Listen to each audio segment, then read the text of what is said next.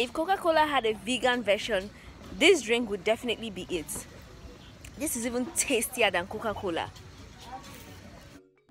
Hello and welcome to another episode of the Rooted Experience. I mean, it was amazing to find out that there is a local version of the world's famous Coca Cola and it's locally made right here in the village. I mean, I had to show you guys. Without wasting much time, let's get started. Just a quick one before we get started.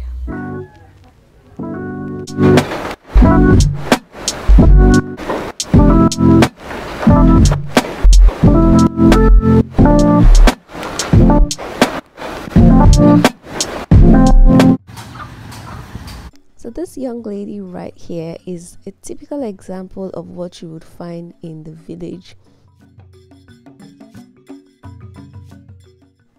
Every single household has a petty trade that the wife or the mother is involved in. Most of the women are into food production, farming, selling of petty goods, cooking, selling of firewoods, selling of yam. In the village, you would never find an idle person. No one is idle right here in the village. Every single person, from the children to the father to the mother, they are all busy. So, what happens is they have a store, and every day they make these local beverages, and people patronize and buy them. So there are two drinks in this video. The first one is called Light and it's made from kenkey a type of kenkey here in Ghana. Um, it's referred to as fancy kenkey in the south. And this kenkey is the base for this first drink. It is mashed and grinded and then it is used to make the lights. So the first step here is to take off the skin or the wrap. It has been wrapped with leaves and she takes it off to mash them in the bowl.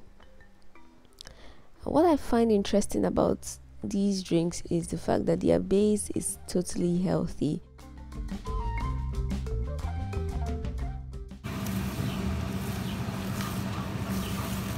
So this is what? Kenkey. Kenkey. Okay. What type of kenkey is this? The, they are using maize or one thing I observed is there's a sense of purpose in the village. Um, as you can see in this particular grinding mill, it's a general grinding mill, and there are different families who come here to grind and are into this exact same business. So it's a popular and widely consumed drink in every single household. There are vendors who make them. So every day, this young lady you see here has to come to the grinding mill, buy the kenkey, mash the kenkey, grind it, and take it back home every single day for them to make the drink for sale.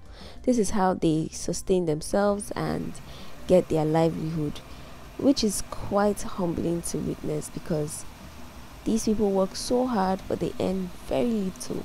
The bottle of this drink retails for one Ghana cedi, which is approximately 17 cents, and this is how they have to survive as a family of four.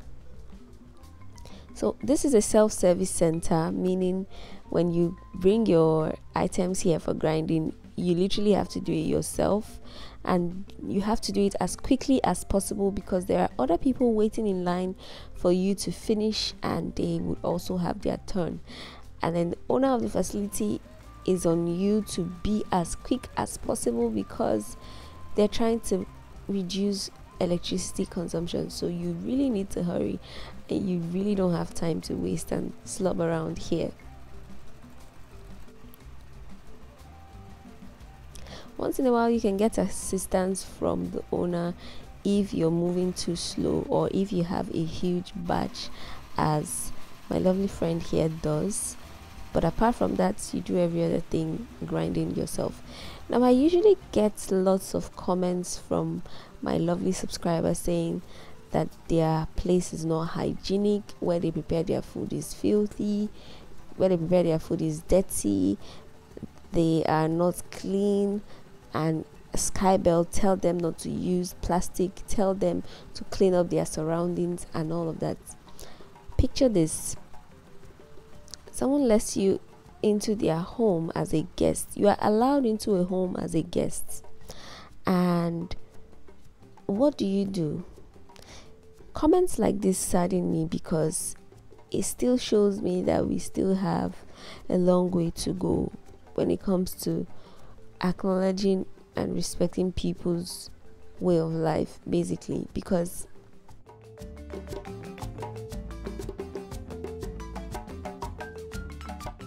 you are allowed as a stranger into someone's home and you're allowed to observe their way of life. In my opinion, it is completely disrespectful to be welcomed into someone's home and then the first thing you do is tell them how dirty they are and how they should sweep and clean up. You wouldn't do that in real life. You would not do that anywhere. So I don't see why it is okay to tell people what to do in their own home. I'm grateful enough that they opened up their space to me and allow me to capture their daily lives. But the last thing I would do is to dictate to them how they should or shouldn't live. Granted, hygiene methods and sanitary methods should be improved upon, but it's the mindset that bothers me much more than the sanitary conditions of these things. And these people do their best.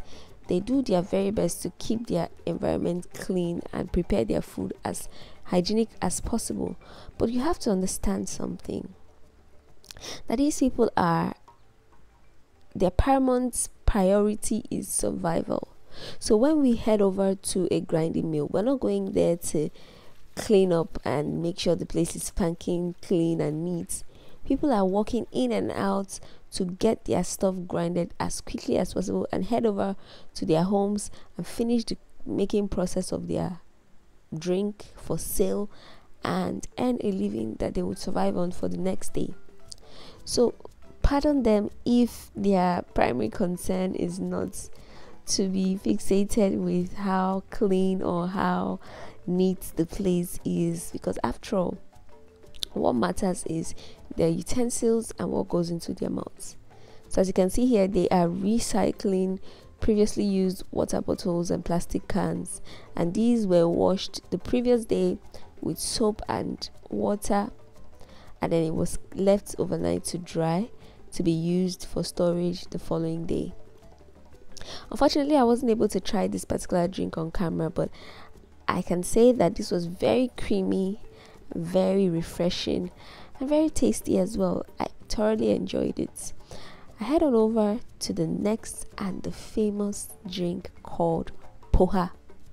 This is made from tamarind and it is the rival, the vegan rival the local rival of the famous Coca Cola. I mean, they even have a similar color to them.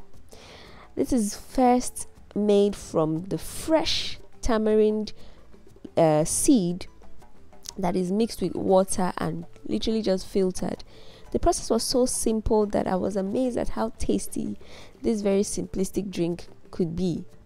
Now, once it is drained, this seed is added and it's called unsulu, which okay. is an equivalent of some kind of pepper and it is grounded locally on this slab of stone. They call it a grinding stone.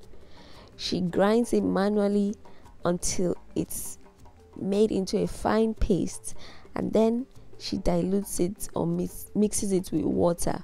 Now, this stuff gives it a spicy hint, almost like ginger and I really like that about it.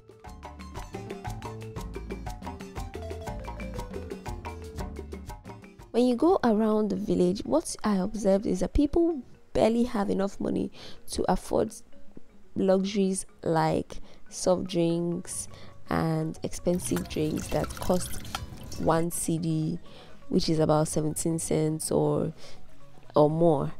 So they heavily consume these locally made drinks. And as you can see, it's also a petty trade by this beautiful woman who sells this at home and this is her business she sells this alongside um, another drink called sobolo and another one called ice cream. She had already completed the preparation so i wasn't able to capture that but basically this is how the local coca-cola is made. So this is the final result guys. It is tied in a poly bag and it is served served chilled. Okay, so let's try out tamarind.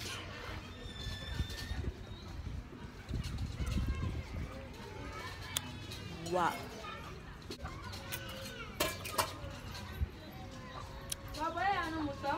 Is better than Coca-Cola.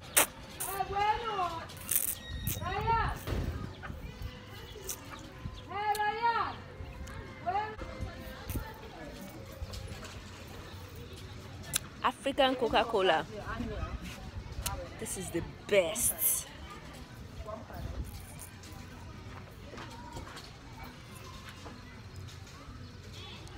Guys, what? Tamarind.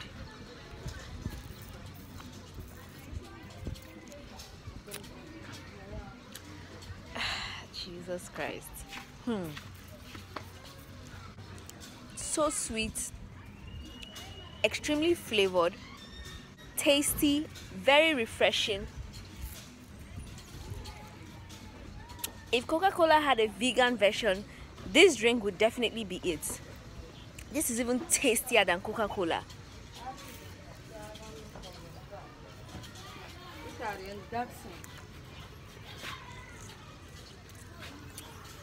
God. This is the best. What?